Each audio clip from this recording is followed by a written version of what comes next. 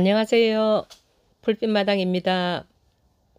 오늘은 봄꽃들 소개해 드리겠습니다. 처음 나오는 꽃은 베로니카입니다.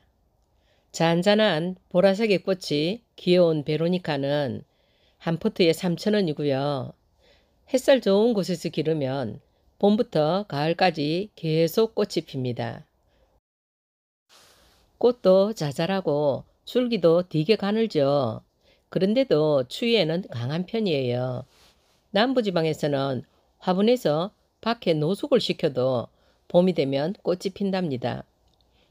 중부지방에서는 화단에서는 월동을 하는데 화분에서 키워본 경험이 없어서요. 제가 장담은 못하겠어요.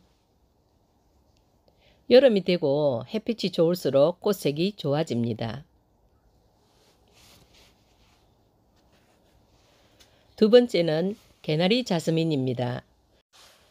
개나리꽃 색으로 피는데 자스민 향기가 난다고 개나리 자스민이라는 이름이 붙었대요. 남부지방에서는 노지 월동 아주 잘 되고요. 울타리에 심어도 되고 대를 세워서 모양을 만들어서 키워도 좋아요. 아파트 베란다에서도 꽃이 잘 핍니다. 지금 영상에 보이는 개나리 자스민은 저희 집 안방 창문과에 심었는데요. 몇 년 지나니까 봄이 되면 온 동네가 환하도록 꽃이 아름답게 핍니다. 화분에서도 잘 자라니 한번 눈여겨봐 주세요.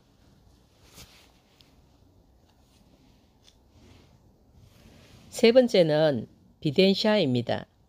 비덴샤, 바이덴스 여러 가지 이름으로 불리우고 있는데요. 엊그제 제가 분갈이 하면서 보여드렸거든요. 봄부터 가을까지 계속 꽃이 피고 옆으로 번식을 아주 잘 합니다. 남부지방에서는 노지 월동 되지만 중부지방에서는 노지 월동은 어려울 거예요. 겨울에 보온을 해주거나 화분에 심었을 때는 반드시 들여놓아야 합니다. 꽃이 계속 피는 아주 가성비 좋은 식물입니다.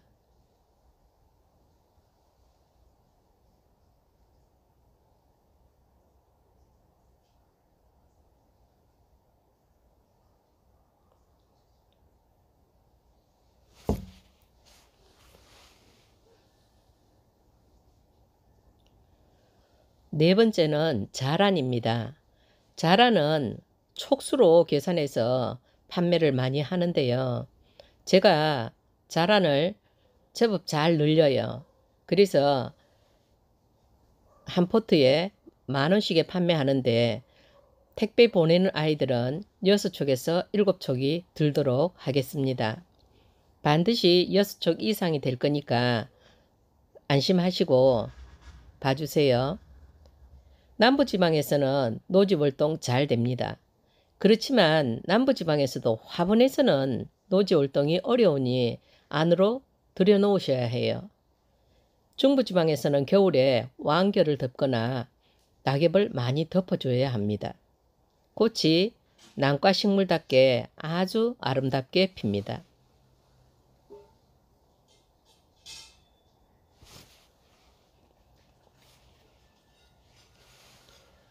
다섯 번째는 노은주름입니다. 노은주름은 보라색도 있고 흰색도 있는데 오늘은 보라색 노은주름을 가져왔어요.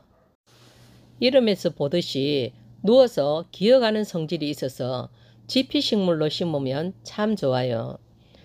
정원에 풀이 많이 나는 곳이나 큰 나무 아래에 심어 놓으면 저절로 번식해서 잘 자라는 지피 식물입니다. 노지 월동도 아주 잘 되고 번식력도 좋은 편입니다.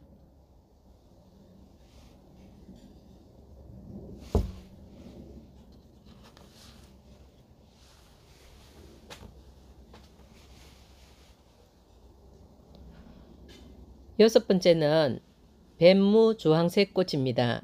뱀무도 주황색도 있고 붉은색도 있어서 색깔을 표시해 주었어요. 뱀무는 봄부터 주황색의 꽃이 끝없이 핍니다. 여름 장마철 될 때까지 피고요. 장마철이 지나고 나서 다듬어주면 가을에도 또 피거든요. 그런데 흙과 맞닿는 부분의 잎은 꼭 잘라주셔야 해요. 통풍이 잘 되어야 꽃이 많이 생기고 많이 피고 오래 핍니다. 전국 어디서나 노지월동 가능하고요. 화분에서도 잘 자라고 땅에서도 잘 자라고 돌담 사이에 심어도 존재감을 나타냅니다. 전국 어디서나 노지월동 가능합니다.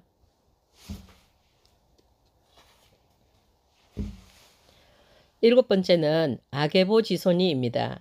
아주 작은 꽃이 피지요. 잎새가 너무 매력있어요. 분홍색의 작은 꽃이 피고 지기를 반복하는데요. 전국 어디서나 노지월동 잘 되고요. 다듬으면서 키우면 품새도 커지고 묵은둥이로 키울 수 있습니다. 저렇게 사랑스러운 꽃이 가득 핀다고 생각해 보세요. 정말 예뻐요. 잎이 늘어지면서 꽃이 피니 분에 심을 때는 조금 높은 분에 심어 주시고 땅도 넓은 데로 자리 잡아 주셔도 됩니다.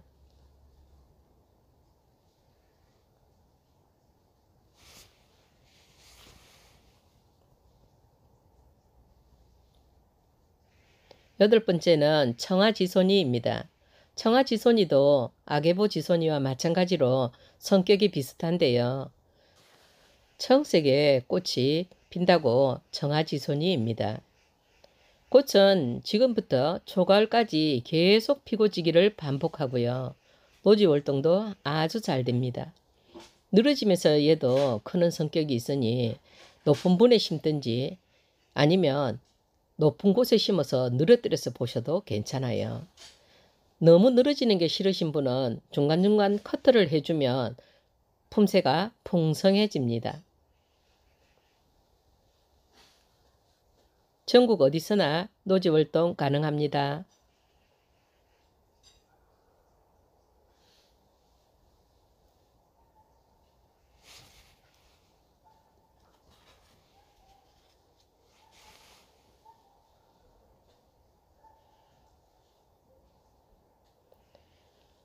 아홉 번째는 히어유라는 황금 부추입니다.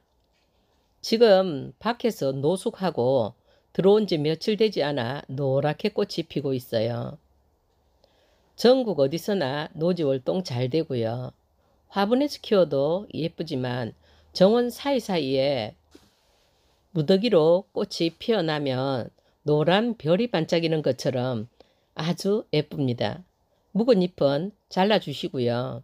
손으로 마른 잎을 떼어내도 잘 떨어집니다. 구근으로 번식도 잘 하고요. 꽃이 지고 나면 진 꽃도 따주세요. 구근 번식이 잘 되니까 굳이 씨앗을 받지 않아도 괜찮을 거예요.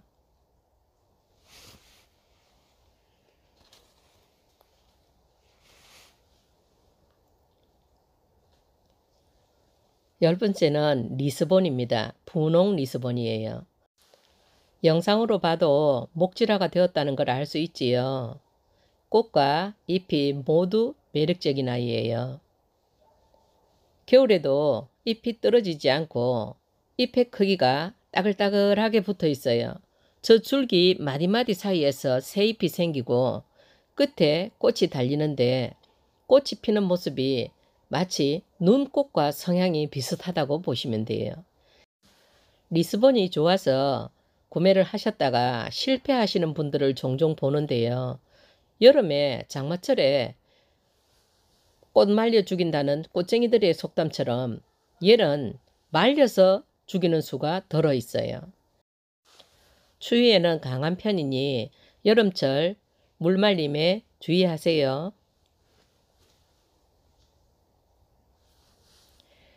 마지막은 새 복수초입니다.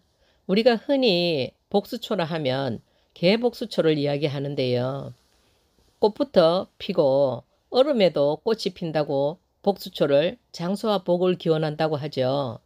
얘는 잎과 꽃이 같이 피는 새 복수초입니다. 한 번 심어 놓으면 저절로 씨앗이 떨어져서 사방으로 번져요.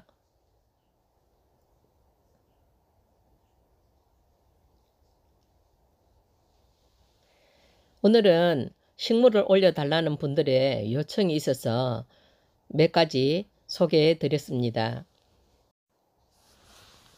내일은 다시 분갈이 하는 모습으로 찾아뵐게요.